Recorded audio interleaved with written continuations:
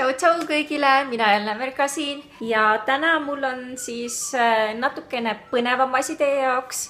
et nimelt äh, ma tahaksin teile väikse giveaway teha. Ehk äh, ma tahaksin teid väga tänada, et te olete liitunud minu kanaliga, nii vanad kui ka siis nagu näha, sina uus vaataja, et selle suhteliselt lühikese ajaga siin kuskil pool aastat, kus ma olen proovinud videosid aktiivsemalt postitada, on teid vaatajaid nii palju kogunenud, et varsti on juba viissada et äh, ma tahaksingi teha sellise väikse äh, äraandmise enda poolt.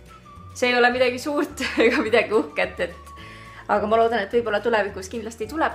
tahaksin jagada teiega neid tooteid, äh, mis ma olen ise siin kanalil proovinud, katsetanud ja ostnud.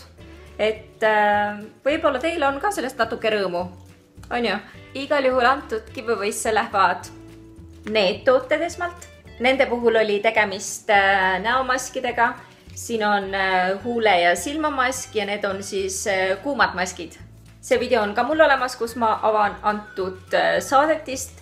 kõik videod ma panen muidugi siia alla infoboksi, kui te ei ole neid veel näinud ja uudistanud. ja lisaks nendele ma panen siia juurde ka veel musta maski.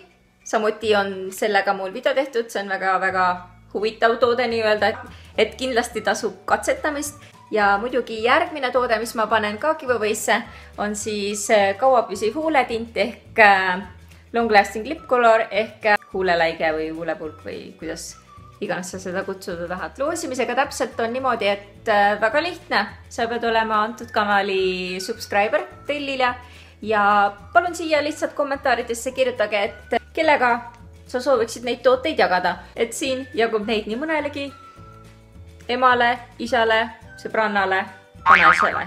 ja võitja loosin ma välja, kui mul on täitunud kuussada subscriberit, siis ma võtan sinuga ühendust, saadan sulle ilusti paki näiteks Smartpostiga ja saad hakata katsetama.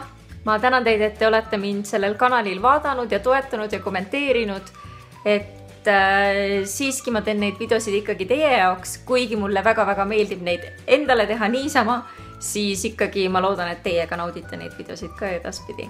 nii et andke aga tuld ja head loosienne teile mm.